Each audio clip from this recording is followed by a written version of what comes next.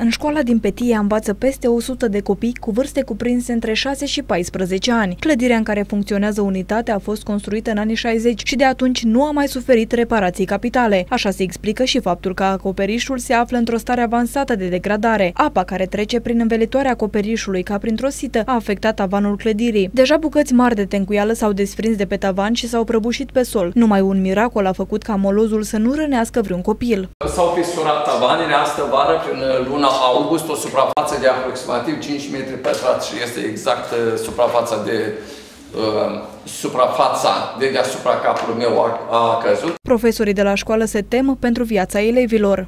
Sigla din 62 s-a degradat datorită mediului și din temperiilor, apa se în ziduri, în plafoane, plafoane căzute, pereți din cuieri căzut din cauza mezelii, Grinzele spute din plafoane pentru că ele din vechimea și apa infiltrată n-au permis să se usuce că erau asfixiate și plafonul este în pericol tot timpul oricând să se plafoneze, să se prăbușească. Nu doar acoperișul clădirii constituie o problemă la școala din Petia. Mirosul pestilențial din sălile de clasă este greu de suportat. De vină este pe de o parte igrasia de pe pereți și pe de altă parte canalizarea peste care a fost construită școala.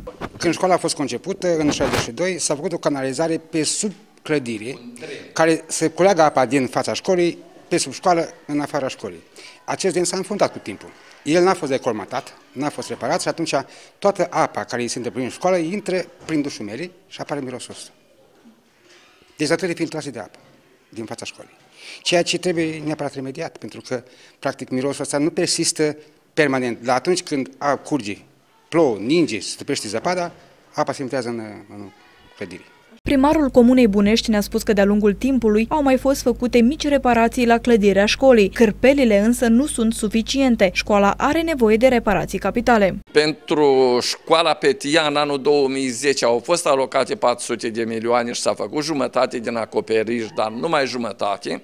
Așa, acum, datorită intervențiilor care le-am făcut de la Consiliul Județean în campanie electorală la domnul Donțu, la domnul Uricec, rezultatele au fost favorabile, am primit suma de 500 de milioane în bani vechi, dar această sumă nu ne permite să facem altceva decât efectiv acoperișul și duraua aferente acoperișului.